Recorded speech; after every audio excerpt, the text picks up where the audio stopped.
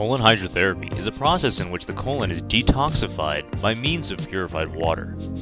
Occasionally, a buildup of waste can accumulate in the colon. Using a continuous flow of water, this waste material is softened and broken down. These loose waste deposits, along with any toxins that may have built up in the colon, are flushed out of the body.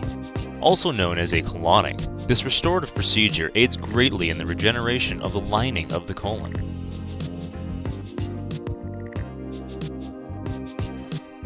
A number of factors may help congest the colon to the point where a colonic would be needed to return the body to a healthy state. An older patient who has never had a colonic before may need many more treatments than a younger patient, since their colon has been exposed to much more over a longer period of time. Your diet also plays a huge role in determining your treatment. Poorer choices in your food intake can harm your body's ability to remove waste effectively. Healthier food choices, on the other hand, actually aid your body in how efficiently it processes foods. Your colon's health is linked to the lifestyle you lead. Having too much stress, being overly emotional, or simply not getting enough exercise can cause issues within the colon. Medications or other drugs can also help prevent the colon from emptying its contents. Even something as simple as not heeding the call can create issues within the colon. Taking the time to eliminate the waste from your system is a must. Colon hydrotherapy is used to ease the effects from these factors. Along with these, there are several other conditions of the colon that a colonic can help to alleviate. The term leaky gut is commonly used to describe the issue of undigested food or proteins passing through the intestinal lining prematurely. When these proteins are repeatedly leaked into the bloodstream, the body begins to treat them as foreign invaders. As a result, a variety of immune responses such as psoriasis, eczema, and sinusitis can occur.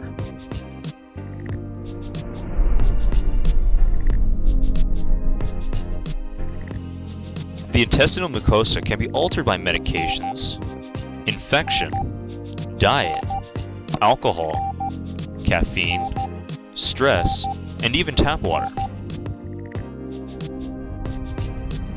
Systemic candidiasis infection is one of the more common causes of leaky gut. With SCI, the Candida bacteria or yeast overpopulates in the colon. When this happens, it begins its second life cycle, mold. The mold then roots itself in the walls of the colon via rhizomes or tiny roots. As these roots penetrate the wall, it creates areas in which undigested proteins could easily slip out and leak into the bloodstream. White blood cells then snap into action and attempt to rid the body of these substances. Because of this, the body sets up an allergic reaction. Irritable bowel syndrome is a chronic gastrointestinal disorder, which true causes still remain unknown. IBS has been used as somewhat of an umbrella category for those suffering constipation, constipation altering with diarrhea, or chronic loose bowels. Abdominal cramping or pain, bloating, and gassiness are common symptoms. IBS is also known as spastic colon, functional bowel disease, or mucous colitis, even though it isn't a true colitis. Although the main causes for IBS are currently unknown, research has shown that IBS may be the result of abnormal gastrointestinal tract movement due to a change in the nervous system's communication between the brain and GI tract. Others may suffer from IBS due to their colon being more sensitive, their immune system handling stress and infection differently, or it could be a hormonal change. Even though the reasons that cause IBS haven't been fully discovered, what it is not has been defined. It is clearly a physical ailment and not purely psychological. IBS is not the result of an anatomical problem, a clear physical or chemical issue, a cancer, and it will not lead to other gastrointestinal diseases. Currently, there is no cure for IBS. However, several treatments are available to aid in coping with its symptoms. Therapies from changes in your diet, exercise, stress management can help tremendously. Changing your diet can help sufferers of IBS with constipation. Gradually adding fiber-rich foods to your daily intake can help your colon move material. Foods such as whole grain breads and cereals, fruits, and vegetables, along with prune juice and water, can help loosen the bowels. Avoiding foods like coffee, soda, chips, and white rice can also help ease your symptoms, since these can slow down the passage of material. Remember, different foods affect people differently. What works for you may not work for the next. Keeping a journal may aid greatly in developing a list of foods that you can handle while knowing which to avoid. Since aspects of IBS are suspected to have stress-related roots, knowing how to manage your stress more effectively could have dramatic effects on helping ease the discomfort. Activities such as regular exercise, yoga and meditation do help lessen one's stress level and may in turn aid in IBS.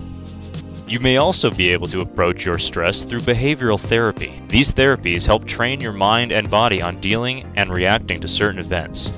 Some have found that going through certain therapies such as psycho or relaxation therapy have helped to deal with their symptoms of IBS. Diverticula are small, marble-sized pouches that form in the wall of the colon. These pockets are found in areas where the lining is weak. The digestive tract actually bulges out from the inner layer into the outer. Due to the condition not usually causing symptoms, most people who have diverticula never know it. However, if the pouch was to become infected and inflamed, the new diverticulosis could lead to abdominal pain, fever, nausea, or a change in bowel habits. Diverticula can generally occur as a result of age, constipation, a connective tissue disorder, stress, medications, lack of exercise, or even from something as simple as ignoring the urge to have a bowel movement.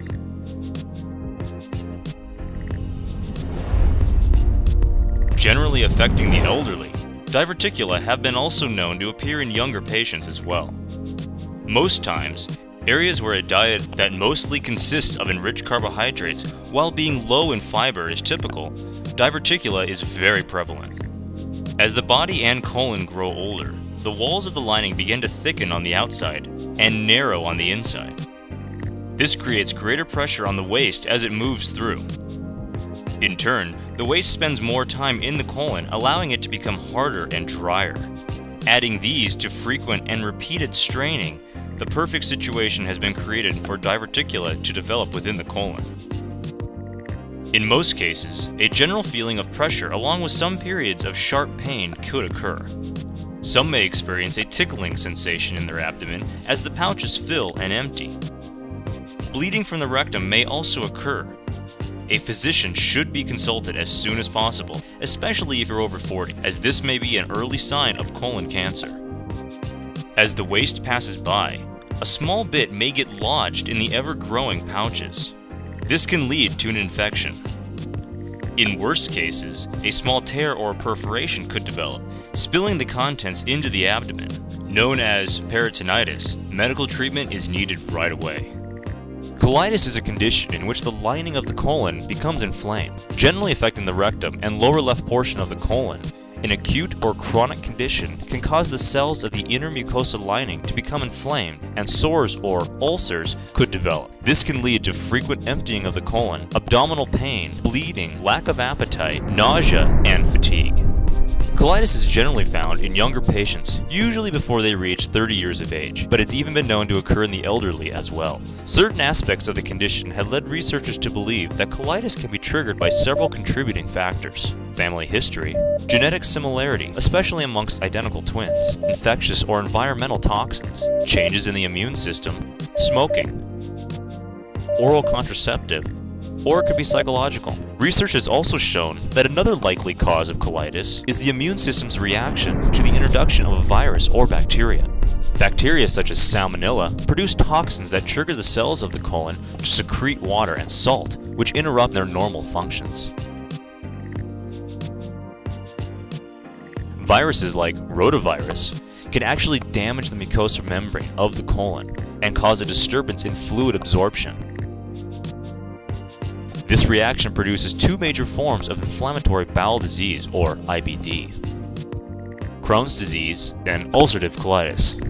Crohn's disease is like colitis, but differs in that it causes the inflammation much deeper in the intestinal wall. Crohn's disease is also known to occur in other areas of the body, such as in the mouth, esophagus, and stomach.